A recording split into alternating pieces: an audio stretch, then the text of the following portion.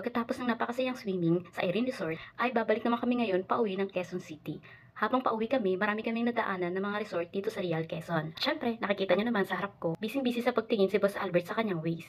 Ay, Berting, dandahan ang pagmamaneho. Tirap na hirap na ako. Kanina pa ako umpog na umpog dito. At ayun na nga mga kapatid, pinagalitan niya ako dahil na nga umuumpog yung helmet ko sa helmet niya. Sino ba naman hindi mauumpog yung bilis-bilis mong magmaneho? At hawak-hawak ko pa ang camera, di ba? Ang gaganda ng mga view dito. Ang sarap tumira dito sa lugar na to. Pwede ba dito na lang ako? Charot!